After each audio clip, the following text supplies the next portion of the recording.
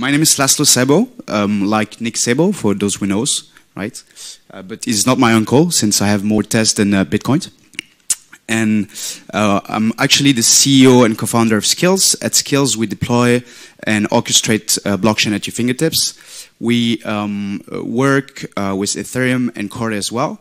Uh, what we realized is that when a company uh, or developer want to um, use the Tezos uh, network for its use case, there's three stages.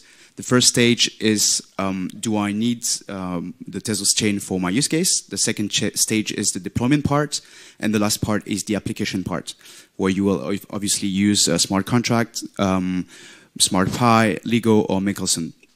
And on the deployment part, uh, it's obviously for a company a very long process to um, deploy the network since you have to centralize your full node. Um, if you centralize many full nodes, it can take like a few days or even a few weeks. Uh, it's also a very expensive uh, um, process since you have, uh, if you want to uh, put your critical application on it, you need to get high availability and high availability, you know, in uh, uh, any blockchains is kind of tricky. And last but not least, um, external providers um, are usually APIs, and we think APIs is a super um, centralized way to connect to the blockchain, since you know you have to bet on a startup that this uh, startup will, will, not die, and if the startup dies, uh, your connection uh, with, to the blockchain dies as well. So what we do is like we deploy blockchains very easily. We try to spin up uh, full nodes in few minutes.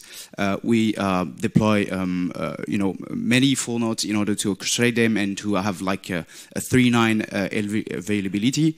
And we save 75% of cost of deployment and maintenance. Maintenance is the big part.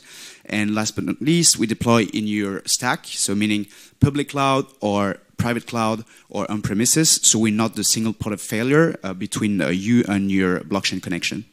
So yeah, um, the kind of use case you can put on our um, uh, infrastructure are obviously you know asset tokenization, tokenization sorry, or um, data inscription on chain. We think as well uh, we might um, improve the the um, private Tezos part for use case like uh, KYC sharing between banks or insurance company in the future.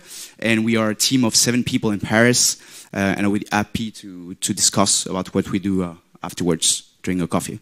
Thank you very much. Thanks a lot. Uh, the next uh, lightning presentation is, by, uh, is about the Sword Group company.